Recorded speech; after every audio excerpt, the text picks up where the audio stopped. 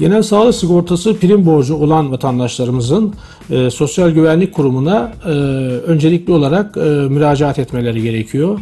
E, borçları ile ilgili yapılandırmaları yaptıktan sonra e, Sosyal Güvenlik Kurumu'nun ilgili bankalar nezdinde oluşturulan e, hesap numaralarına bu borçlarını ödeyebilirler.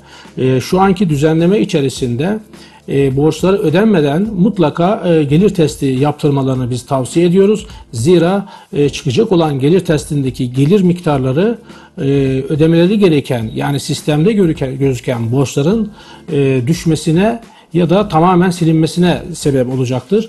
O nedenle e, vatandaşlarımız Sosyal Güvenlik Kurumu'na prim borçlarını ödemeden e, ya da ödeme koşullarını gerçekleştirmeden önce mutlaka gelir testi yaptırmalarını ve bundan sonraki süreçte de e, ödeme koşullarını değerlendirmelerini tavsiye ediyoruz.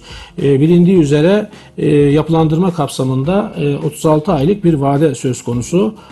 Çıkacak olan genel sağlık sigortasına ilişkin prim borçlarını 36 aylık sürede ödeyebilirler.